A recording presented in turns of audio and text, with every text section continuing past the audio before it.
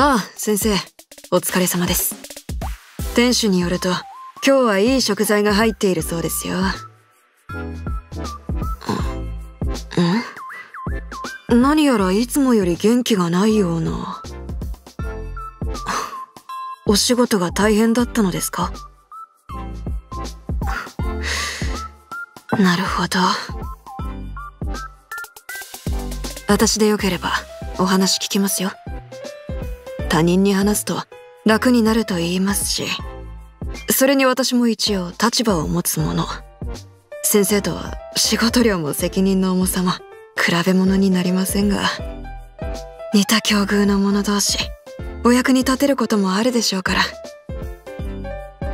先生一杯いかがですか？